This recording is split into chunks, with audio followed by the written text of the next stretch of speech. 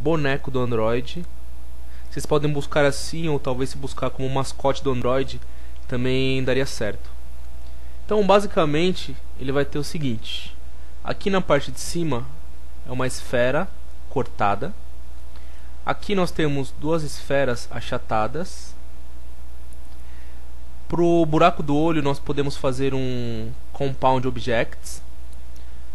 Aqui nas antenas nós temos dois cilindros. Ou nós podemos trabalhar com uma coisa que ainda não, não vimos, que se chama cápsula. Então aqui pode ser uma cápsula, aqui outra. Aqui outra cápsula, aqui outra cápsula. As ligaduras dos braços podemos fazer com cilindros.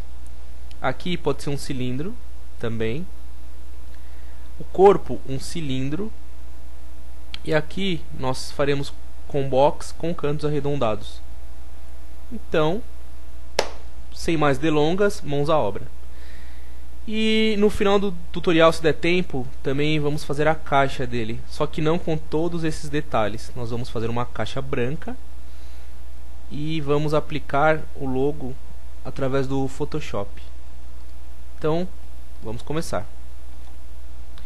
Meu 3D Max já está aberto e como eu falei, eu vou dando uma olhada aqui para conferir. Então eu vou começar pela cabeça. Vou fazer um, uma esfera.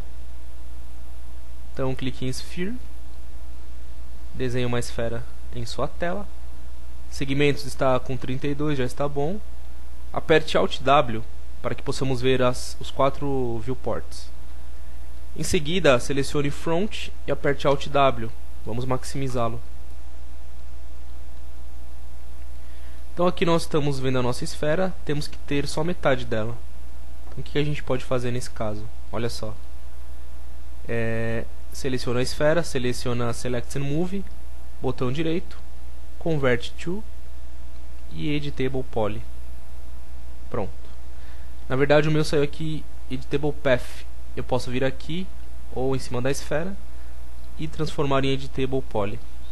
Fez uma cagada. Ficou cheio de nossa, de, de ads, de arestas, eu não quero isso não. Então, Ctrl Z. Até que volte em Sphere. Então vou vir aqui. Editable Poly. Eu posso fazer tanto por, pelo nome ou em cima da própria esfera. Em seguida eu seleciono um Polygon. Então polígono nós podemos selecionar as faces. Mas se clicarmos fora, segurarmos e arrastarmos para dentro, ele já seleciona um grande número de faces. Se eu apertar Alt W, eu vou perceber, ó, girando o Perspective, que ele selecionou toda a volta. E aí eu aperto Delete. Só que a parte de baixo ficou vazia. Então o que, que eu tenho que fazer? Prestem atenção. Eu seleciono a ferramenta Border seleciono a borda. Quando eu seleciono todo o objeto, ele só vai selecionar a borda. Estão vendo? Só a borda ficou vermelha. Porque só tem esta borda. O resto está fechado. Então a borda aberta é esta. Em seguida, nós temos a opção Cap. Então, clicando em Cap, ó, o que o Cap faz? Ele fecha. Apertei F4 só para mostrar melhor, ó, o Cap fechou a nossa esfera. E agora, se eu até aplicar o NURMS, ó, o Cap ele ele deu essa unida aqui. Apliquei o NURMS, ele não ficou tão suavizado, mas isso aqui é não vai aparecer, então não tem problema. Mas também não seria difícil de resolver. Então, vamos lá, vamos continuar. Em seguida, nós faremos duas cápsulas para as antenas através do painel Top. Selecione Top e aperte Alt W. Clique em Create. Em seguida, nós vamos aqui em Standard Primitives e temos Extend Primitives. E vamos procurar por Capsule. Pronto, tá aí o capsule. Então vou desenhar um capsule aqui. Cliquei, segurei, arrastei. Normal. E agora eu vou procurá-lo na minha viewport. Olha o capsule aqui. Assim como outras primitivas, nós podemos configurar a sua largura em radius e a sua altura no height. Então, olhando a referência, eu vejo que ele é pequeno e fininho. Então, pequeno e fininho. Só que para ver de verdade eu tenho que colocar na cabeça. Então com o do painel top, vou posicionando corretamente, que seria o lado correto. Pronto. Mais aqui. Então com top, com front, eu vou posicionando as antenas.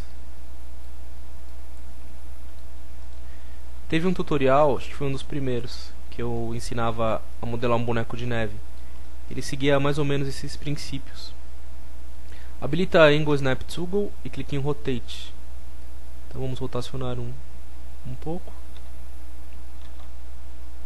Olha, ele é mais fino. Então venha Modify, diminua o Radius e diminua o Rate.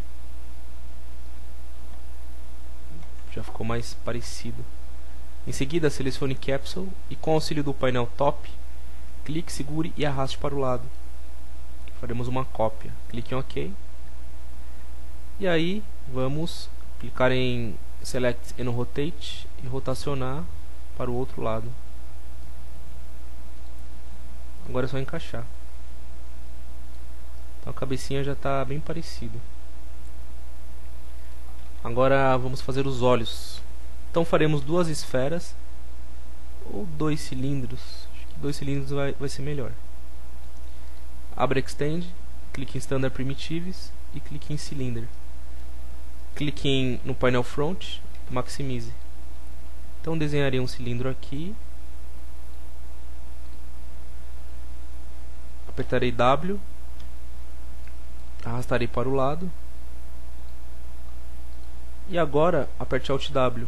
Vamos procurar onde está o cilindro. Ó. Os dois estão dentro deles. Lembre-se que aqui eu estou com F3 pressionado, olha só, para ver só o wireframe.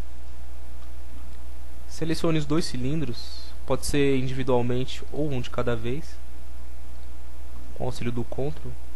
Leve para frente até que ele saia para fora. Então nós vamos posicionar aí mais ou menos assim, né?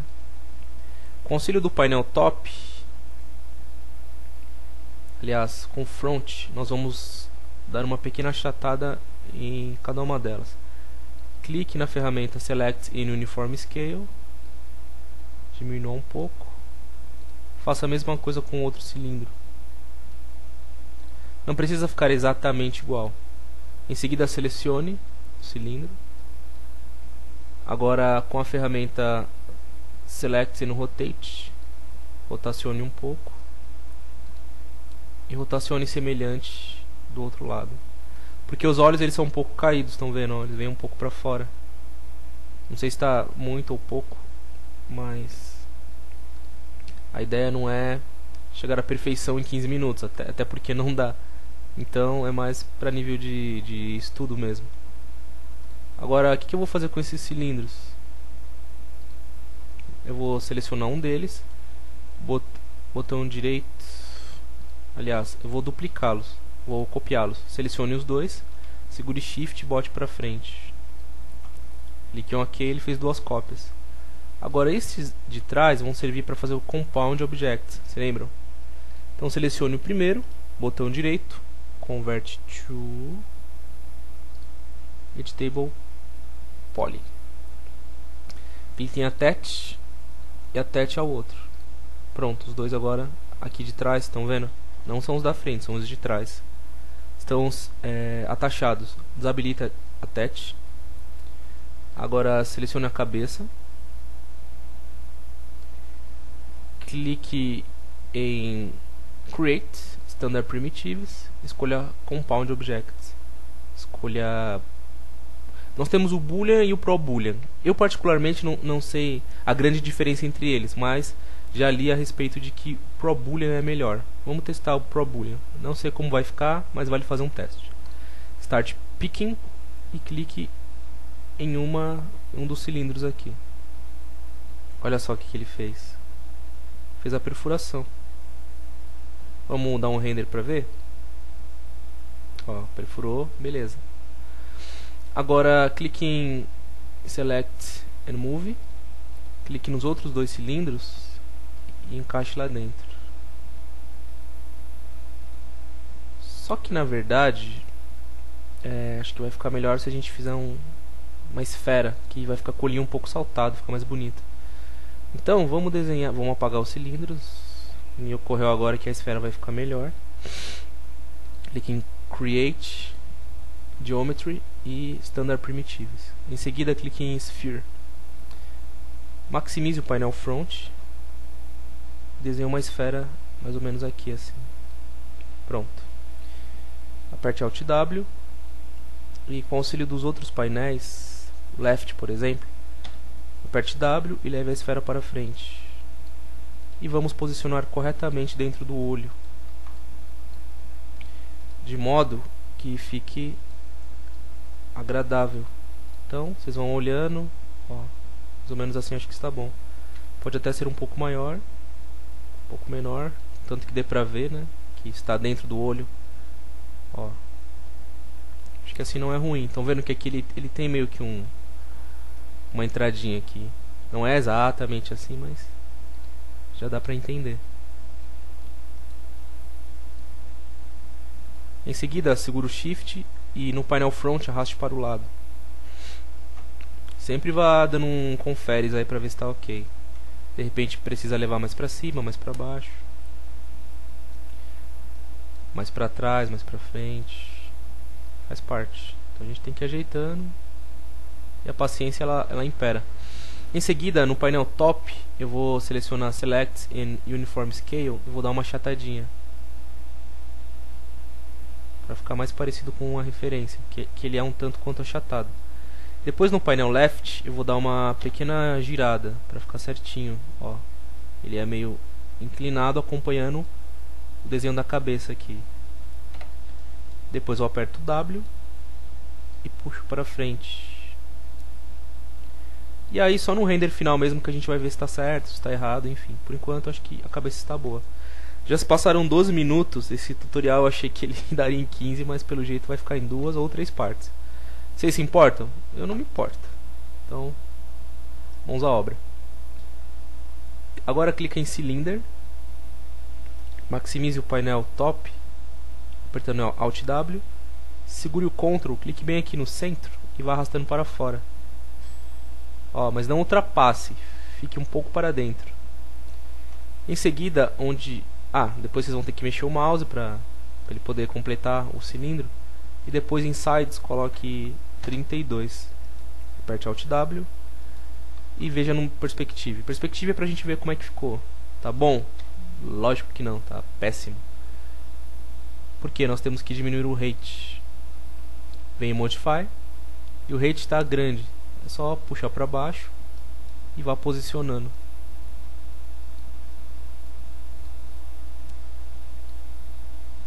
Pronto. Aqui no Segments, pode deixar como 1 mesmo, não precisa nem deixar 5. Estão vendo aqui, ó. Assim mesmo tá ótimo. É, em seguida, ó, deu um, um conferes. Aqui ao lado, ó, uma coisa que eu quase nunca falo, é, tem essas cores aqui que a gente pode aplicar aos nossos objetos. Não é a cor final do render, embora se eu renderizar a cor vá aparecer, mas momentaneamente eu posso escolher a cor para ir já vendo como é que vai ficar com a cor do, do Androidzinho. Então, eu seleciono quantos objetos eu quiser e aplico a cor neles.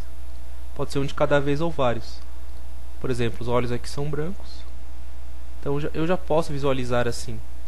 Aí vocês escolham como é melhor de se trabalhar. Vocês têm autonomia para fazer como acharem melhor. Quem quiser aplicar só no final os materiais, no editor de materiais, tudo bem, não está não tá errado. Mas é legal a gente descobrir várias possibilidades, né? Até se pode renderizar assim também, não está errado não. Deixa eu colocar o mesh, mesh smooth aqui para ver. Ó, aqui eu tenho o modifier list, eu vou abrir e vou procurar o modificador mesh smooth, que tem a mesma função do com a interação 2 aqui ele tem a mesma função do do NURMS. Até aparece NURMS aqui, tá vendo? Temos NURMS, Classic, Quad, Quad e NURMS. Renderize.